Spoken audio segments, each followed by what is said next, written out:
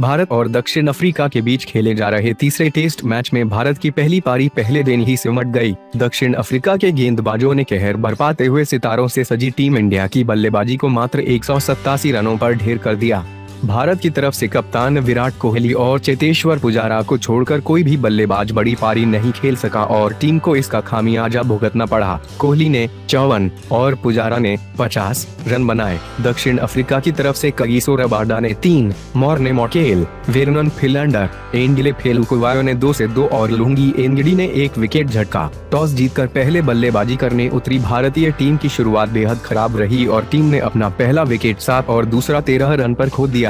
इस दौरान टीम ने विजय शून्य और राहुल शून्य। के रूप में दोनों ओपनरों के विकेट खो दिए। दो विकेट गिर जाने के बाद कोहली और पुजारा ने पारी को संभालने की कोशिश की और दोनों ने टीम को संकट से उबारा। इस दौरान कोहली को कई जीवनदान भी मिले। दोनों बल्लेबाजों ने तीसरे विकेट के लिए चौरासी रनों की साझेदारी की। इसी बीच कोहली ने अपना अर्धशतक भी पूरा किया। हालाँकि अर्धशतक लगाते ही कोहली चौवन रन बनाकर आउट हो गए। कोहली के आउट होने के बाद रहाणे नॉट भी कुछ खास नहीं कर सके और वो भी चौथे विकेट के रूप में चलते बने। इसके बाद तो विकेटों का पतझड़ लग गया और टीम इंडिया ने एक के स्कोर पर तीन विकेट खोए।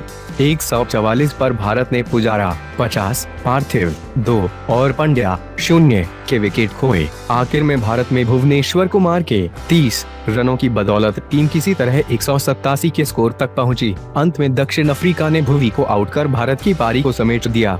हम आपको बताना चाहते हैं कि दूसरी इनिंग में साउथ अफ्रीका का छह रन पर एक विकेट गिर चुका है। अब देखना यह होगा कि क्या कल भारत कम बैक करता है या तीसरा टेस्ट मैच भी भारत की हाथ से निकल जाएगा।